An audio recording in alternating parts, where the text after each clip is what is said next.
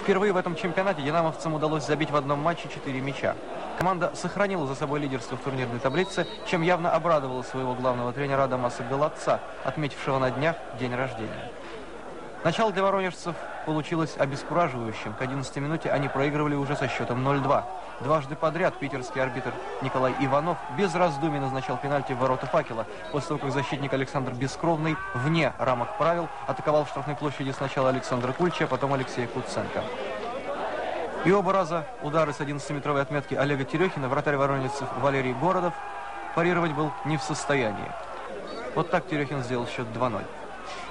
После этого хозяева несколько расслабились и вскоре были наказаны. В безобидной ситуации Сергей Штанюк отправил мяч в свои ворота. Это досадное недоразумение только подхлестнуло динамовцев, и они заиграли с прежней самоотдачей и энтузиазмом. На 45-й минуте после передачи Терехина Андрей Кобелев забивает третий мяч. Ну а четвертый гол забил Олег Терехин, сделав хет-трик и сравнявшись тем самым в споре бомбардиров с Олегом Веретенниковым. Олег, если не ошибаюсь, это ваш первый хет-трик в высшей российской лиге, да? Да, первый. А в саратовском «Соколе» вы часто забивали по три мяча за одну игру?